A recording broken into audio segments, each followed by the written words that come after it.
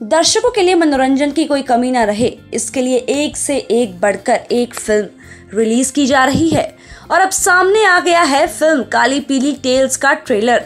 Film छह अलग अलग कहानियों पर आधारित है और इन कहानियों को दर्शाने आ रहे हैं इंडस्ट्री के एक से एक बढ़कर एक दिग्गज कलाकार सोनी राजदान, विनय पाठक, गौहर खान, मानवी गगरू, प्रियांशी पैन्यूली सादिया सिद्दीकी और अदीब रईस जैसे कलाकारों से सजी फ़िल्म का ट्रेलर काफ़ी दमदार है।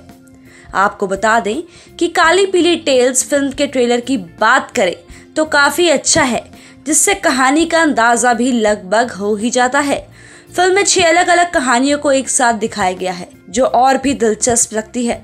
हर कहानी का अलग अलग टाइटल दिया गया है। फ़िल्म मुंबई जैसे महानगर में रिश्तों की जटिलताओं को दर्शाती है। इस फ़िल्म का ट्रेलर रिलीज़ होने के बाद लोगों को खूब पसंद आ रहा है। वहीं, फ़िल्म के रिलीज़ की बात करें तो फ़िल्म काली पीली टेल्स 20 अगस्त 2021 को रिलीज़ होने जा रही है।